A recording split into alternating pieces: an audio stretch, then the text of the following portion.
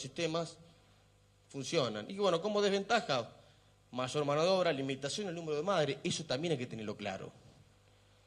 Las madres son el 10% de rodeo. Si tengo 50 madres, tengo 500 cabezas.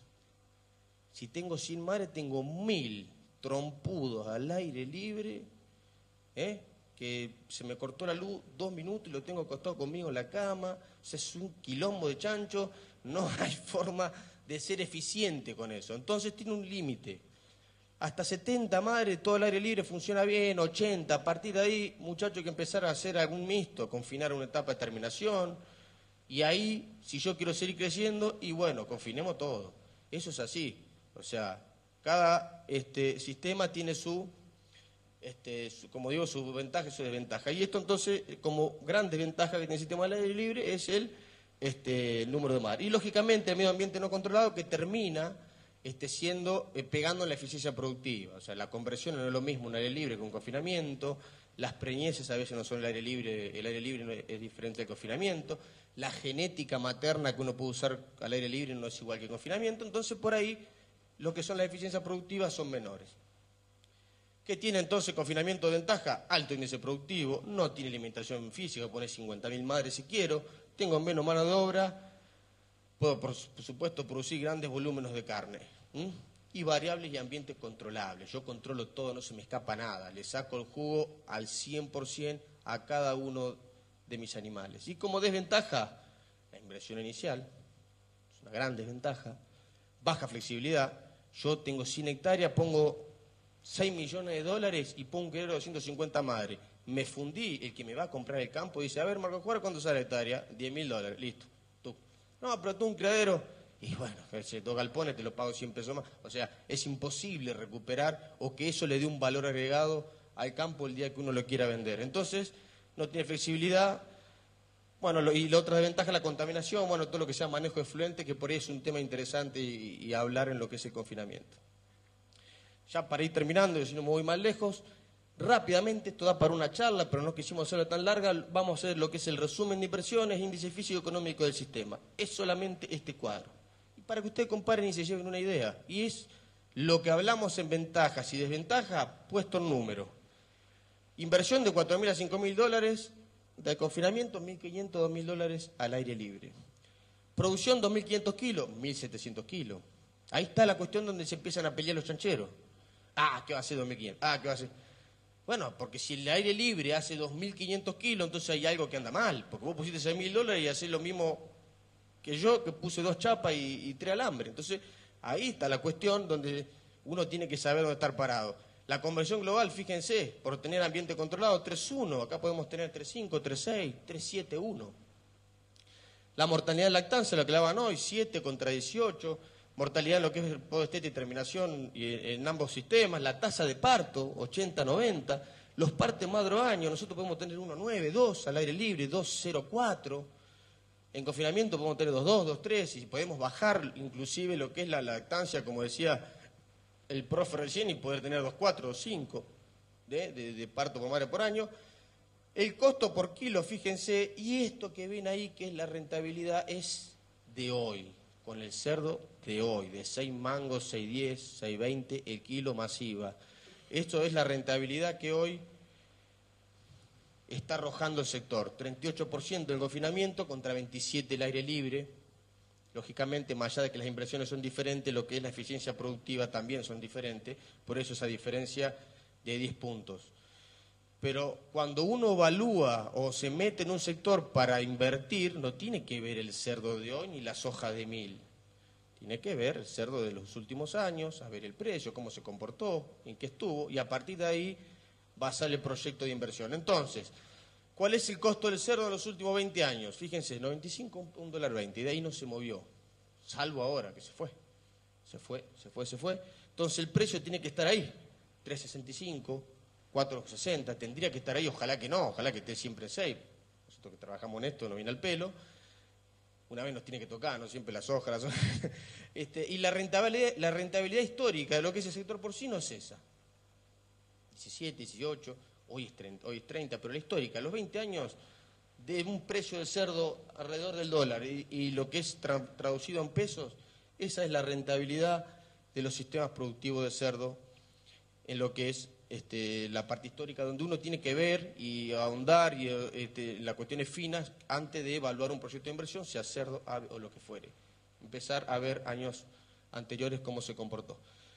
Y esto también, solamente para, para mostrarle un número. Hoy, fíjense que hoy... Uy, ¿qué toqué? Fíjense que hoy esto, una granja de 250 madres que produce 2.500 kilos con un costo de 3,80, tiene un ingreso neto de 1.500.000 pesos por, este, eh, por año. ¿eh? Esto no, le digo, no lo digo yo, lo dice el programa del CIAP. Es un programa de simulación que también está incluido en lo que es, lo que hicieron ahí en la Universidad de Río Cuarto. Este, fíjense lo que es la, ¿eh? la, inversión, bueno, y la inversión lógicamente de 4 millones, pero la rentabilidad de hoy, y eso sería un número histórico, que 250 madres te den 580 mil mangos por año de ganancia. Pero hoy estamos un poco a favor. En definitiva, si los proyectos o emprendimientos productivos lo que hablamos recién son este, personal y de mediana escala, nosotros desde el INTA siempre damos el mismo consejo y un poco reitero lo que dijimos recién.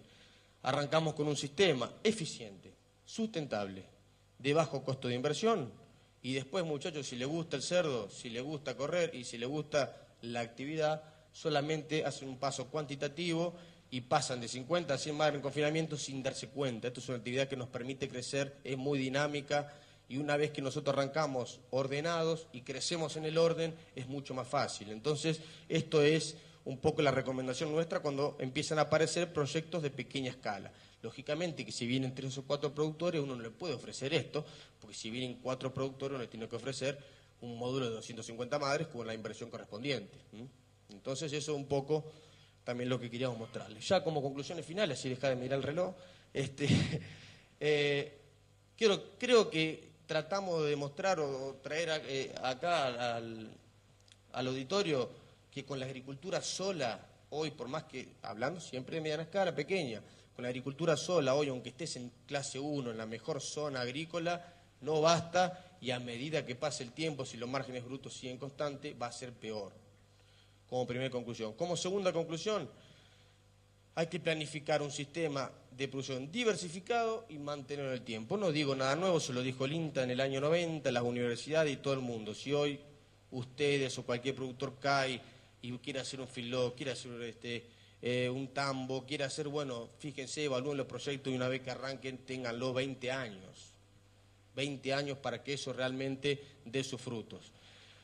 Y como para terminar, a la hora de elegir un sistema productivo de cerdos, como hablamos recién, de todos los que hay, mixto y demás, hay que evaluar todos los factores. Disponibilidad financiera, recurso humano, asociativismo, experiencia del sector. Todo eso hay que empezar a evaluar a la hora de elegir un sistema, a la hora de elegir un número de madre a, poner o a invertir. ¿eh?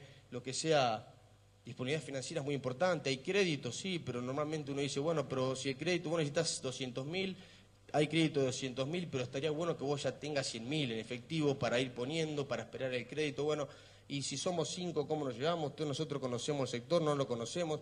Todo eso, ustedes como estudiantes, como futuro técnico, se tienen que sentar y ver y evaluar y tratar de ser un poco el psicólogo, si tienen que manejar tres o cuatro productores o cinco que quieren hacer este, este, esta inversión, a veces de mucha envergadura, para después llegar a una conclusión y decir, bueno, para ver, según ustedes, para ustedes el mejor proyecto es este, para ustedes el mejor proyecto es este. Entonces, no solamente mirar rentabilidad y números, sino también ver el factor humano a la hora de decidir el, sistema productivo a adoptar. Y con esto, si no hay preguntas, lo dejo con el doctor Brunor.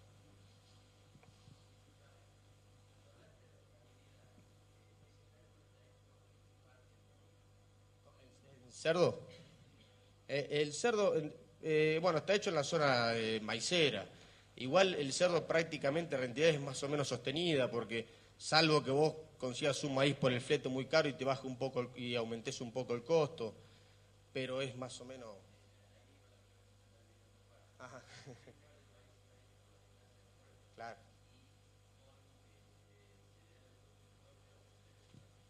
Nosotros los costos y la rentabilidad la hacemos con el cereal, o sea, con el costo de oportunidad del cereal. Si a ver si podemos ver en la primera. Nosotros, a ver, tiqui, tiqui, tiqui, tiqui. Ahí. A ver.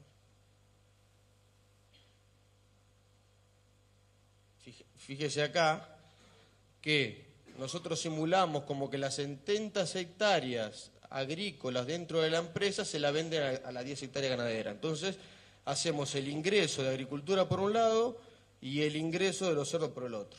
O sea, la otra forma es ponerle el costo productivo y hacer que todo esto sean hectáreas ganaderas, que todas sean, se destinen a alimentación de ganado y lo que se vende como grano, pero en definitiva siempre para ver si el sector es rentable se hace con grano prácticamente comprado, un costo de oportunidad que va a variar según la zona y como usted dice, según el, el, flete a puerto, pero esas rentabilidades son con costo de oportunidad de los granos de la zona nuestra.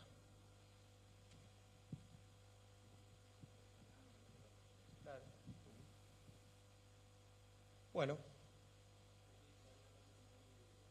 45 centavos, y hasta castigarlo un poco. Normalmente nosotros, bueno, hoy, hoy nos agrandamos y lo castigamos, total, el costo está a 3 y se vende a 6. Era vos si podemos resistir hasta que, hasta que nos saquen Ahí incluso puede resistir tranquilamente el precio del cerdo. Ojalá que no, para mí yo tampoco coincido con el profe mío, no, que no toquen nada las retenciones, pero bueno.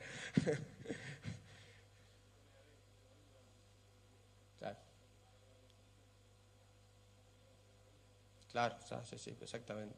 Yo creo que si, sacamos retenciones, este, volvemos de nuevo a tratar de, de, agriculturizar todo. Ahora dejemos esto así un tiempo, qué sé yo, me imagino. Tal cual. Bueno, entonces, luego Jorge y muchas gracias. ¿eh?